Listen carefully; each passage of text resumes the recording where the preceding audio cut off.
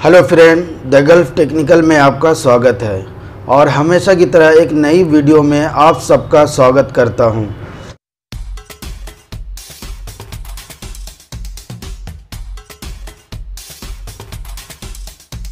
आज का जो टॉपिक है, वो किरण रिलेटेड में है जब भी रीगर हो या ऑपरेटर हो वो इन चीज़ों को सबसे ज़्यादा ध्यान देना चाहिए और मैं उसके एग्ज़ाम्पल के लिए एक वीडियो भी मैं बताऊँगा, वो किस तरीके से वो एक्सीडेंट हो गया।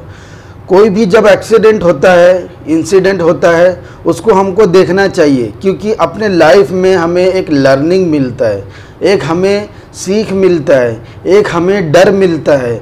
तो जब वो डर हमको मिलेगा तो हम उन चीज़ों को गलती करने से, दोबारा जो गलती हम करेंगे, उससे हम रुकेंगे।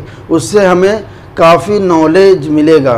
तो इस वीडियो को आप शुरू से आखिर तक ज़रूर देखना और इस वीडियो में आप बने रहना, क्योंकि आपको काफ़ी नॉलेज मिलने वाला है। क्योंकि कुछ जो नॉलेज होता है, वो आपको सबसे ज़्यादा ज़रूरत है।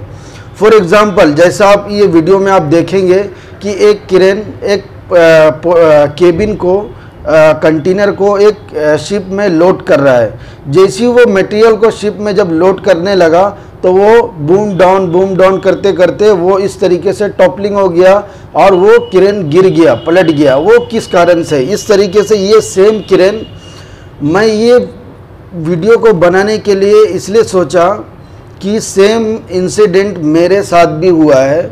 सेम क्रेन सेम मटेरियल तो नहीं था, लेकिन मटेरियल कुछ अलग था। वहाँ पे चार टन का मटेरियल था और जो ये क्रेन था सेम क्रेन पचास टन का same crane tyre mounted crane इसको कहते हैं। इस तरीके का सेम क्रेन था। वो सेम इसी तरीके से वो भी पलटी हुआ था। वो किस कारण से हुआ था? उसमें जो कारण था, जो मेरे टाइम में हुआ था, वो बूम में कुछ इफ़ेक्ट था बूम में कुछ प्रॉब्लम था। जो जैसे हम बूम डाउन मारते हैं तो बूम में काफ़ी झटका आने के कारण वो किरण पलटी हो गया। सेकंड उसमें जो सबसे बड़ी बात थी पलटी होने का, वो ज़्यादा बूम डाउन मार दिया गया। तो इस कारण से किरण पलटी हो गया। सपोज़ फॉर एग्जांपल ये आपका हाथ है। ये हम इस रेंज में उठाएँगे तो हमें बहुत ताकत है उठाने में। जैसे जैसे हम इसको बूम डाउन करते रहेंगे तो ये ये जो वेट है, इधर कम होगा। ये पूरा वेट इस तरफ़ इस तरफ़ इस तरफ़ इस तरफ़ आ जाएगा। तो सेम इसी तरीके से बूम का ये स्ट्रक्चर ये काम करता है तो सेम इस तरीके से ये पलटी होने का काफ़ी ज़्यादा चांस होता है। तो इन सब चीज़ों पर आपको ध्यान देना है, कभी भी आप कोई भी बूम डाउन मार रहे हैं तो उसके रेंज से बाहर नहीं जाना है। सपोज़ आप इस इसको कैसे पता करेंगे कि मुझे इस बूम का रेंज से मेरे को बाहर नहीं जाना है? तो आपके पास होता है लोड चार्ट और डायग्राम डायग्राम और लोड चार्ट का ज़रूर इस्तेमाल करें। ऑपरेटर हो, रीगर हो, कोई भी हो, इन सब चीज़ों पर आपको सबसे ज़्यादा ध्यान देना चाहिए।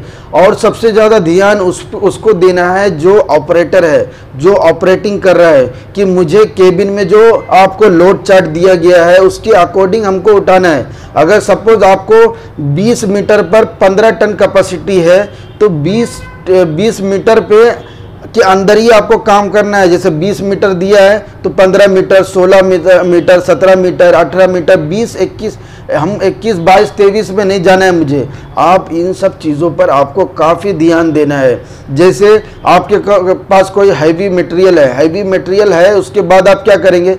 आप सबसे पहले लोड चार्ट देखेंगे, उसका रेडियस देखेंगे। रेडियस उसका इतना डिस्टेंस मेंटेन हो रहा है कि नहीं? उन सब चीज़ों को आप देखकर आप तभी वो ये क्रेन का एक प्लानिंग करें। जब आप क्रेन का प्रॉपर प्लानिंग करेंगे तो आपके साथ इस तरीके से हादसा बिल्कुल भी नहीं होगा। आप जैसा स्क्रीन पर देख रहे हैं, मैं आपको स्क्रीन पर ये वीडियो दे दूँगा कि ये देखिए, ये टायर माउंटेड क्रेन है। ये अपना जैसा पोटा केबिन हम लोग बोलते हैं, इसको कंटेनर भी बोलते हैं। पोटा केबिन कुछ अलग होता है जो हम लोग का ऑफ़िस होता है। ये एक कंटेनर है जिसमें मटेरियल वगैरह शिप होता है, इसको कोई लोग ऑफ़िस भी बना लेते हैं। इसके अंदर मटेरियल भी होता है, ऐसा कि नहीं ये चीज़ खाली है?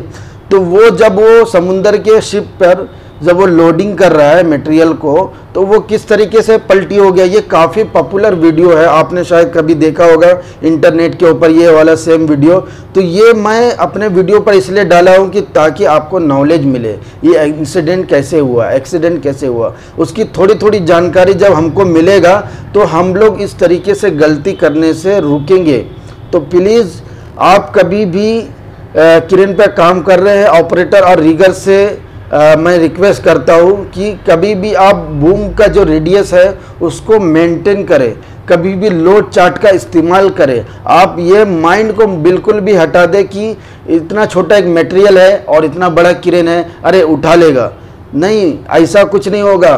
प्लीज़ आप जो उसका स्टैंडर्ड है उसको फॉलो करें। स्टैंडर्ड क्या है? काफ़ी लोग कमेंट करेंगे सर हमें स्टैंडर्ड भी बता बता दो। स्टैंडर्ड वही है जो आप लोड चार्ट फॉलो करेंगे। जो आप डायग्राम फॉलो करेंगे। जैसा लोड चार्ट और डायग्राम मैं स्क्रीन पर दे दूँगा, जैसा ये देख रहे हैं, ये लोड चार्ट और डायग्राम है, इन दोनों को आप सबके किरण के अंदर होता है, इन दोनों को देखें और स्टडी करें अच्छे से। या आपको नॉलेज नहीं है, आप किसी से जानकारी लें, या आपको नेक्स्ट वीडियो में मैं इसका भी आपको बनाकर दे दूँगा।